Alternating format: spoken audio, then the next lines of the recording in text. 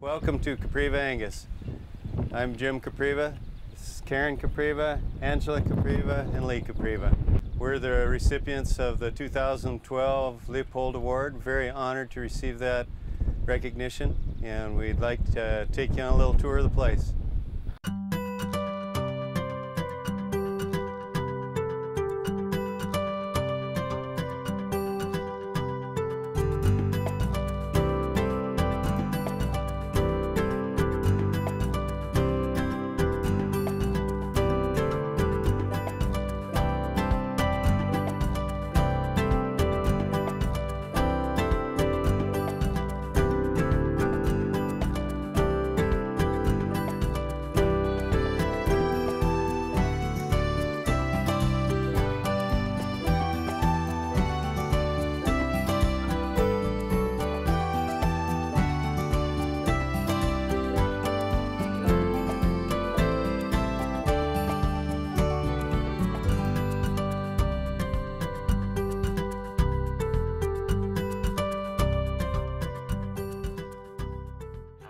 Jim and I have been married for 30 years, and I'm the fifth generation.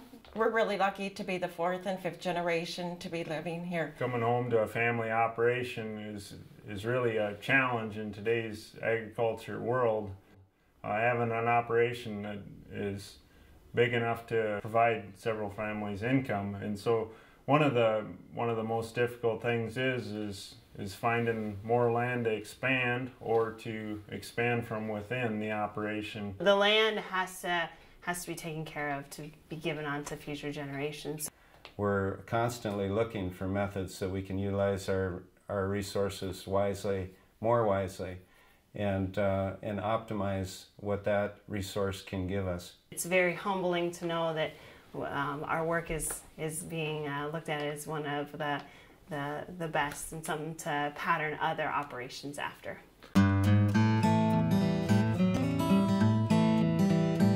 Lake Creek Refuge pulled in Allan Savory to talk about rotational grazing.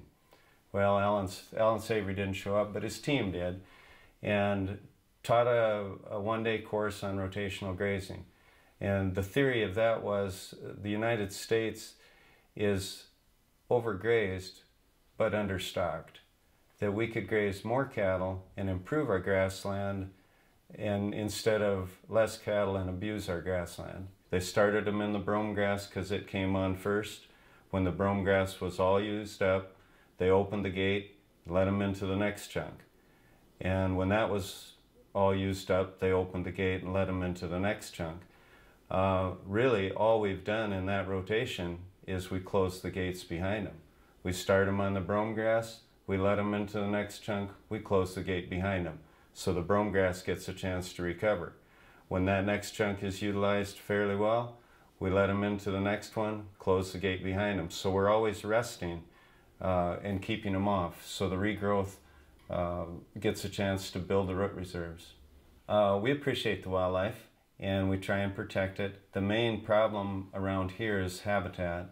It, it's all farmed up, fences are removed, trees are bulldozed down, and there literally is no place for the wildlife. And with the grazing, uh, as opposed to crop production, the grazing land is still suitable for habitat for wildlife. Uh, the grazing cattle will walk right around a pheasant nest. With the rotational grazing, the cattle are in there for relatively short time and then they're moved on. So the, the conflict, the moment of, of uh, conflict is fairly short. No-tilling is a far superior method for uh, dryland farming. Uh, the problem with uh, conventional tillage is, is exposes the soil to wind and water erosion. Uh, also, the, the no-tilling preserves moisture so that that crop, those seeds actually get to moisture and actually have some moisture to start with. You still need rain, but every time you stir the dirt up, uh, more moisture is lost. And so it's counterproductive to stir it up and dry it out real good before you put the seed in. Uh, that's something you, you can't buy is that moisture. I'm here to tell you that it's doable.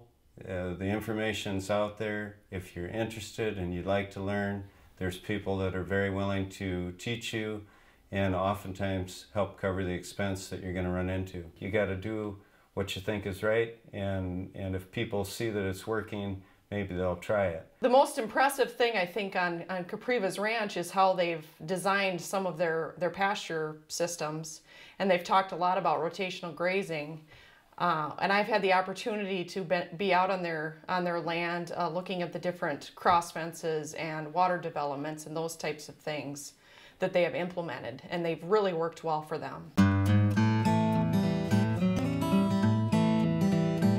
The strength of a country is based on its on its food source. I just got back from a South Dakota Ag Rural Ship uh, foreign travel experience where we went to China and Vietnam. And when you see how fragile uh, their food source is, it makes you really appreciate our food source. Uh, they count heavily on imports to feed their people. The moment the imports uh, would break down any political or, or worldwide shortage of food, their people would be out of food within days, maybe the same day. Uh, we look at, at it as a strength. We're the food basket of the world, and, and farmers are the true conservationists. We have the job of feeding not only our people, but uh, the whole world.